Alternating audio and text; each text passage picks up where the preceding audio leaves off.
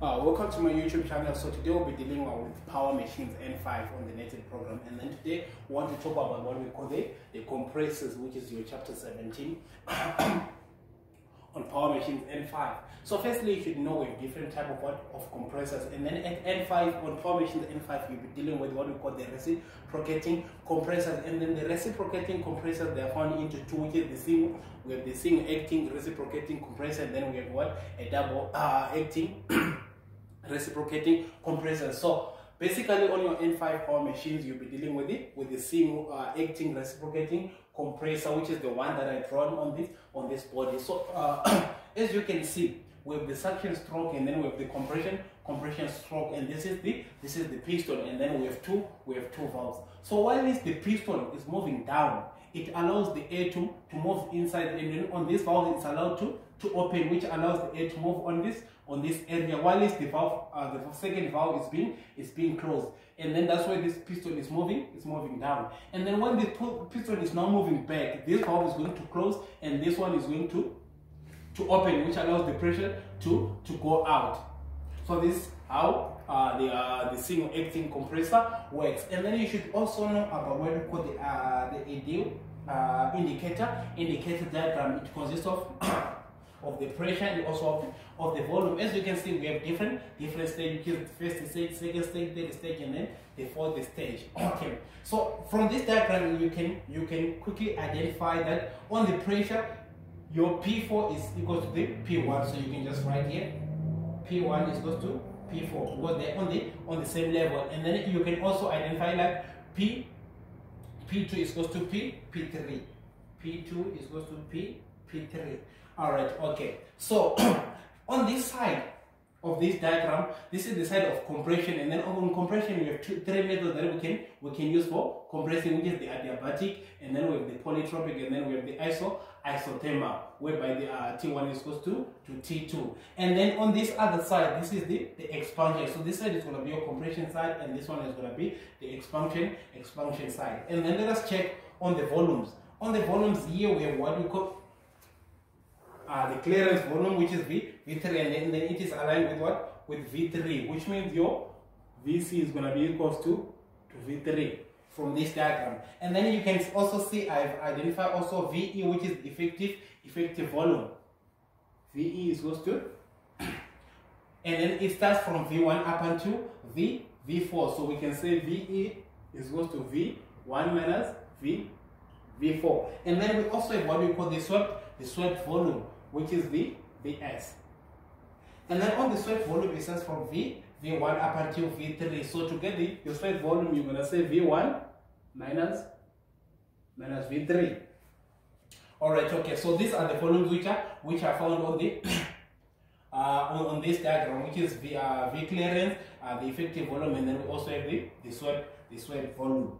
So these are the formulas that you're going also to, to use when you're doing your, your calculation. And also we have the formula to calculate the indicated power of the, the work done. And we have two formulas that we can use to calculate the indicated power, which is uh, the following N, N1 and then P1 multiplied by V1, open brackets, and then it's going to be P2 of P2 over P1 close bracket and then n minus 1 over n minus 1 and then you close close the bracket.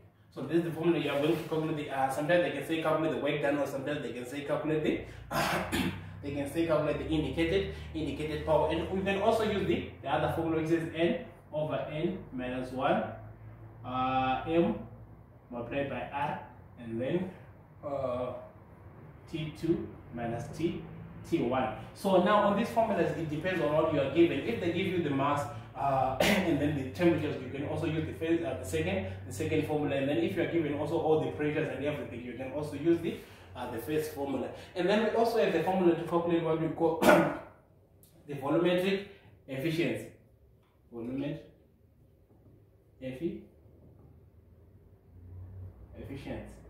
All right, okay. So on calculating the volumetric efficiency, we have two formulas. They can say either in interpole condition or then on the atmospheric condition. So the first method is the interpole, uh, interpole condition. interpole condition. This is the formula that you are going to use to calculate the volumetric efficiency on the interpole condition, which is going to be VE over Vs multiplied by 100%. And then what is your VE? Your VE is going to be the effective volume over the uh, the solid the solid volume. And then, as I said, we also have what we call the atmospheric atmospheric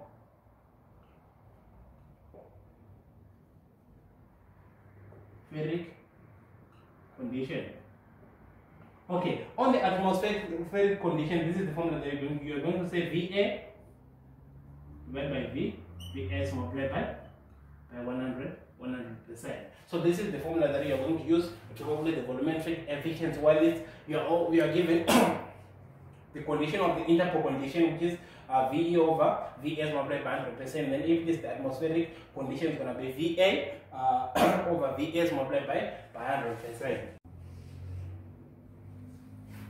Alright, okay. So we also have uh, the other formulas whereby we have the formula to calculate the volume of what of a cylinder is going to be Vt per minute divided by N N per minute multiplied by 2. And then here it depends. If it is a single stage, you don't have to multiply by 2. And then if it is a, uh, double, a double uh, acting reciprocating compressor, and then you have to multiply by, by 2. And then we also have the four other formula to calculate the the volume of what of a cylinder which is the general formula that you know which is pi pi d squared divided by formula by by, by the length and then we also have the formula to calculate the mechanical efficiency which is going to be the indicated power divided by the by the shaft power and then also have the formula to calculate the mechanical uh, the motor efficiency which going to be the shaft power divided by the input power and then you should also keep in mind this this formula.